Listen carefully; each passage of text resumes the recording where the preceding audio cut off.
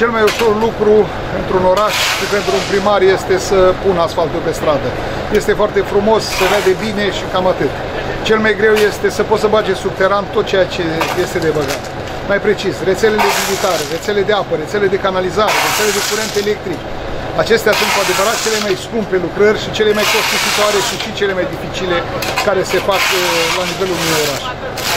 Și la noi la Teiuș lucrăm de zor pentru a crea front de lucru, să creăm acel câmp tactic necesar constructorului de drumuri pentru a putea să modernizeze drumurile. Și pentru asta suntem în, la momentul de față pe strada Crișan,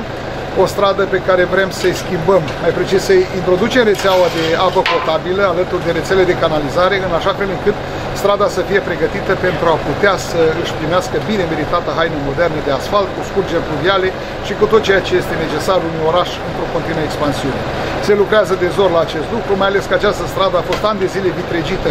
de a avea o apă potabilă de calitate, cetățenii noștri uh, fiind siliți de împrejurări, de vicisitudine vremurilor, fără a da vina pe nimeni, de a-și face racordurile de apă temir de pe la cine, prin ce grădini sau prin alte zone total improprii, iar acum a venit vremea să facem o rețea corespunzătoare, o rețea bună, din care cetățenii o să poată alimenta în așa fel încât să-și creeze condiții de civilizație și de viață mai bună în orașul nostru.